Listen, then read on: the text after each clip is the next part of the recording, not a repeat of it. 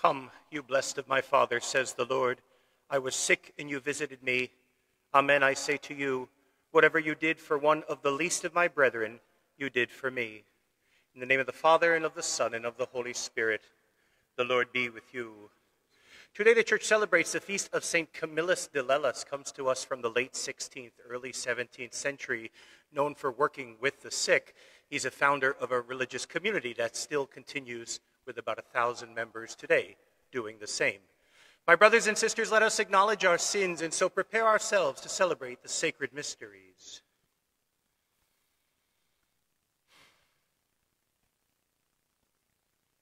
Lord Jesus, you healed the sick. Lord, have mercy. Lord Jesus, you forgave sinners. Christ, have mercy.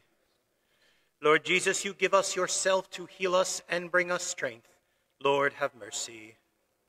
May Almighty God have mercy on us, forgive us our sins, and bring us to everlasting life. Let us pray. O God, who adorned the priest St. Camillus with a singular grace of charity toward the sick, pour out upon us by his merits a spirit of love for you, so that serving you in our neighbor, we may at the hour of our death pass safely over to you. Through our Lord Jesus Christ, your Son, who lives and reigns with you in the unity of the Holy Spirit, one God, forever and ever. Amen.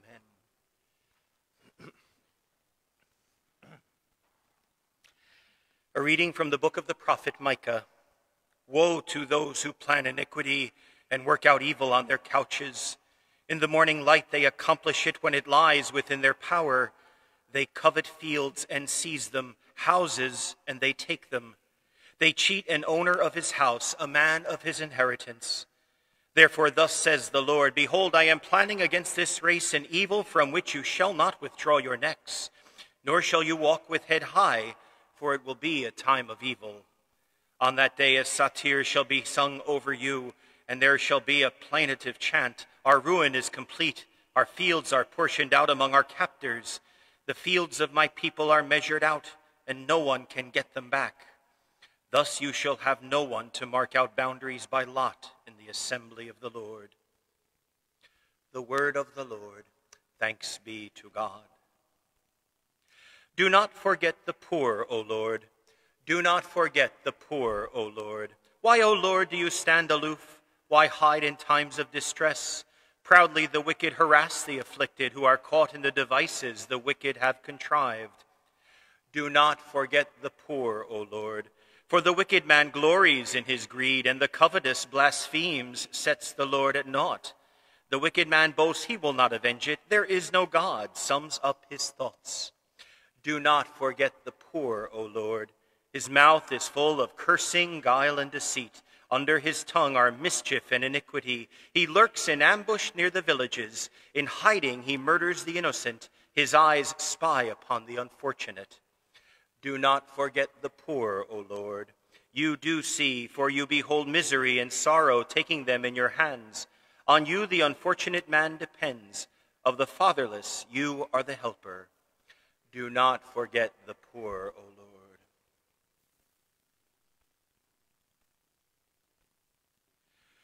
Alleluia, Alleluia, Alleluia. Alleluia, Alleluia, Alleluia. The Lord be with you. A reading from the Holy Gospel according to Matthew. Glory to you, Lord. The Pharisees went out and took counsel against Jesus to put him to death. When Jesus realized this, he withdrew from that place. Many people followed him, and he cured them all. But he warned them not to make him known this was to fulfill what had been spoken through Isaiah the prophet Behold, my servant whom I have chosen, my beloved in whom I delight. I shall place my spirit upon him, and he will proclaim justice to the Gentiles. He will contend, he will not contend or cry out, nor will anyone hear his voice in the streets. A bruised reed he will not break, a smoldering wick he will not quench, until he brings justice to victory, and in his name the Gentiles will hope the gospel of the Lord. Praise to you, Lord Jesus Christ. Today in our parish, we have First Communion, another round of them we had last night. About 20 young boys and girls received their first Holy Communion, and we have another ceremony today at 9 o'clock. It means I have to be a bit short in the homily today if we're going to also get through the novena as well before families start arriving and the setup has to happen. You'll see the center aisle already has the banners of the kids. Please leave them where they are, you know, as we uh, don't take them with you because the kids are going to take them with them uh, as they finish. Pray for them on this busy, big day in their lives. Um, you hear it's, it's not positive, feel good readings today. The prophet Micah, we've switched to, and Micah talks about how God has had it again with his people, and you're going to try to do things and you're going to fail, and all sorts of bad things are going to happen right? Then we hear what happens in the responsorial psalm, where even in there we have that plea do not forget the poor, do not forget us, O Lord. And then the beginning of the gospel that Jesus, that the Pharisees take counsel against him. Jesus must be put to death, they say, right? And this is from a, the Pharisees who embraced the law and what was greater than the commandment, you shall not kill. That's how much they detest. Sometimes we have in our lives difficult things that happen. And what a great saint today to reflect on. So I can't talk a lot about him, but St. Camillus de Lellis. If you're one who feels like every time I take three steps forward, I fall one or two steps back, he's your guy. He's your ultimate victory, but not without a lot of struggle. He had a difficult life growing up. Uh, father died young, um, difficulties, and developed a, an addiction to gambling um, became a soldier, was thrown out because of a sickness, because of a wound. Uh, he's in the hospital. He wants to help in the hospital. They refuse to let him in to help him take. He tries to join a religious community. And again, they keep him until they realize that that wound isn't healing and they don't want to be responsible for caring for him if it gets worse. What does he do? He prays to God, Lord, God of mercy, what do I do? You know, do not forget the poor. He founds his own religious community seeing the need for those who will tend to natural needs, to the physical needs, the medical needs, and the supernatural needs. He founds a community called the Ministers to the Sick. And so if you see a Camillian today, uh, the initials MI are there, the Ministrum Infirmarium, the ministers of the sick. About a thousand of these uh, religious who work with the sick uh, are in the world today. Um, Visiting Rome, you can visit the tomb of, of St. Camillus in a church not far from the Pantheon, St. Mary Magdalene. It's at a church, it's connected to a, to a building that was given by the Pope to Camillus to, for his community to fix up, to use, and, and to uh, make the, the sort of headquarters of their order. Uh, even a relic of his heart you can see in glass uh, uh if you're into that sort of thing. A reminder for us to persevere in our lives that sometimes all the struggles in the end will pay off. We just have to be strong enough to ride them out and to keep going. Please stand. Placing our hope in the name of Jesus, who is the Christ, we bring to God our needs and desires. For those discerning a call to religious life or the priesthood, may the Holy Spirit guide them in their decision making, we pray to the Lord. For elected leaders of every nation, may God strengthen their desire to do good and act justly, we pray to the Lord. For those oppressed in any way, may God encourage them to persevere in faith and hope, we pray to the Lord. For this faith community, may the Lord grant us peace in our hearts and compassion for one another, we pray to the Lord. For those who have died marked with the sign of faith, may they enjoy eternity with God, we pray to the Lord for Lynn or for Lynn Person and for uh, God's blessings and the fifth, on the 50th wedding anniversary of Vicky and Rocco Panzarino, for whom this Mass is offered, we pray to the Lord. Heavenly Father, we place our trust in your love and justice. In your mercy, please hear our petitions which we make through Christ our Lord. Amen.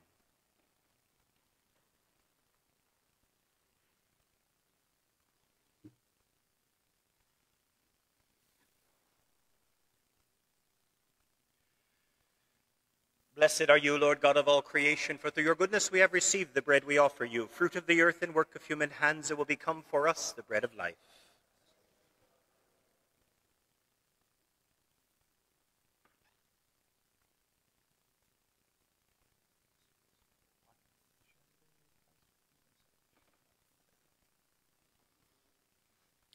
Blessed are you, Lord God of all creation, for through your goodness we have received the wine we offer you, fruit of the vine and work of human hands, it will become our spiritual drink.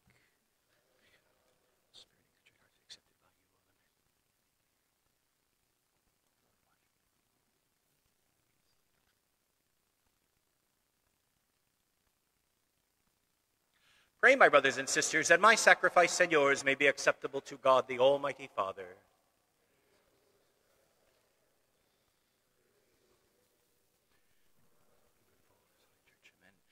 Receive, O Lord, the offerings of your people, and grant that we who celebrate your Son's work of boundless charity may, by the example of blessed Saint Camillus, be confirmed in love of you and of neighbor through Christ our Lord.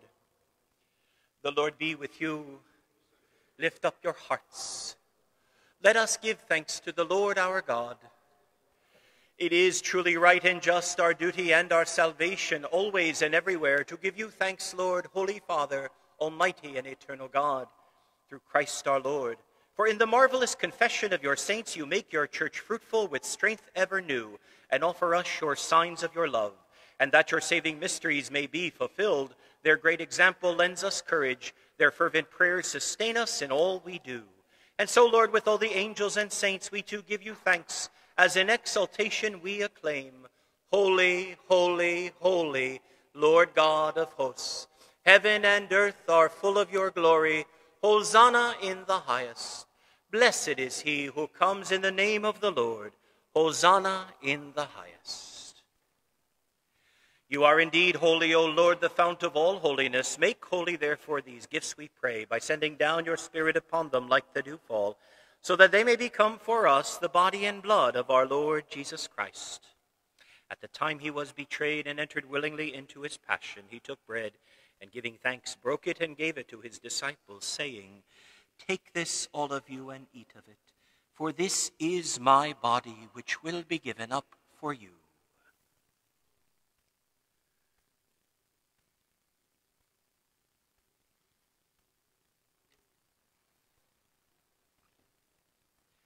In a similar way, when supper was ended, he took the chalice, and once more giving thanks, he gave it to his disciples, saying, Take this, all of you, and drink from it, for this is the chalice of my blood, the blood of the new and eternal covenant, which will be poured out for you and for many for the forgiveness of sins.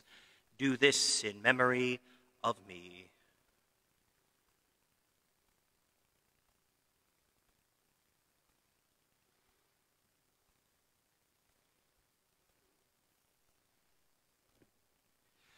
The mystery of faith. Save us, Savior of the world, for by your cross and resurrection you have set us free. Therefore, as we celebrate the memorial of his death and resurrection, we offer you, Lord, the bread of life and the chalice of salvation, giving thanks that you have held us worthy to be in your presence and minister to you. Humbly we pray that, partaking of the body and blood of Christ, we may be gathered into one by the Holy Spirit. Remember, Lord, your church spread throughout the world and bring her to the fullness of charity, together with Francis, our Pope, and James, our Bishop, and all the clergy. Remember also our brothers and sisters who have fallen asleep in the hope of the resurrection, and all who have died in your mercy. Welcome them into the light of your face. Have mercy on us all, we pray, that the Blessed Virgin Mary, Mother of God, with Blessed Joseph, her spouse, the blessed apostles, and all the saints who have pleased you throughout the ages, we may merit to be co heirs to eternal life, and may praise and glorify you through your Son, Jesus Christ.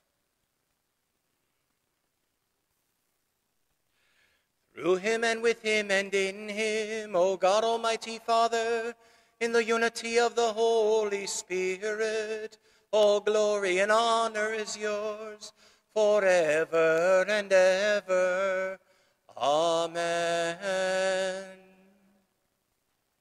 At the Savior's command and formed by divine teaching, we dare to say, Our Father, who art in heaven, hallowed be thy name. Thy kingdom come, thy will be done on earth as it is in heaven. Give us this day our daily bread, and forgive us our trespasses, as we forgive those who trespass against us. And lead us not into temptation, but deliver us from evil. Deliver us, Lord, we pray, from every evil. Graciously grant peace in our days that by the help of your mercy we may be always free from sin and safe from all distress, as we await the blessed hope and the coming of our Savior, Jesus Christ. For the kingdom, the power, and the glory are yours now and forever. Lord Jesus Christ, who said to your apostles, Peace I leave you, my peace I give you, look not on our sins, but on the faith of your church. Graciously grant her peace and unity in accordance with your will, who live and reign forever and ever. The peace of the Lord be with you always. Lamb of God, you take away the sins of the world. Have mercy on us. Lamb of God, you take away the sins of the world. Have mercy on us. Jesus, eternal life to us who receive him.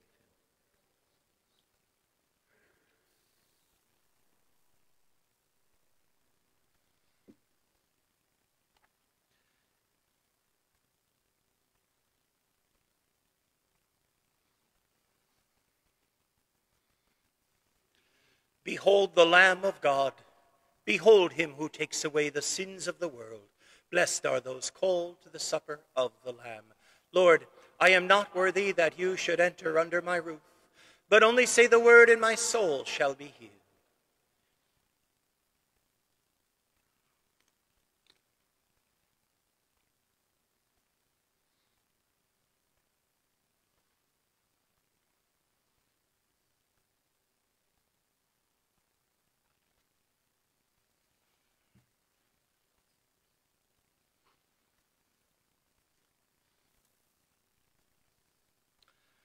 This is how all will know that you are my disciples, if you have love for one another, says the Lord.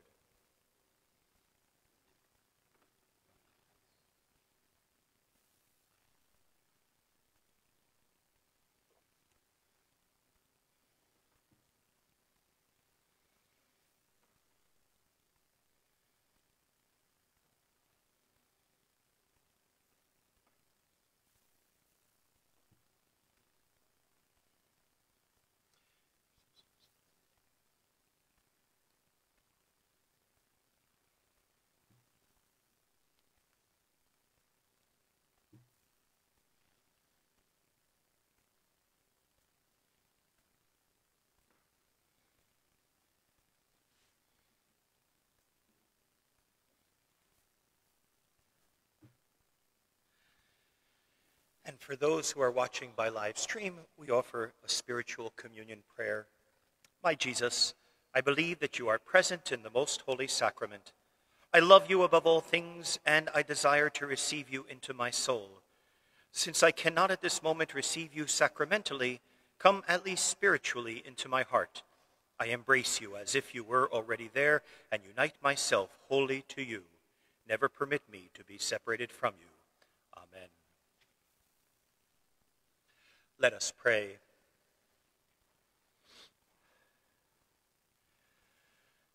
Grant, we pray, O Lord, that we, who are renewed by these sacred mysteries, may follow the example of blessed Saint Camillus de Lellis, who honored you with tireless devotion and by surpassing charity was of service to your neighbor through Christ our Lord.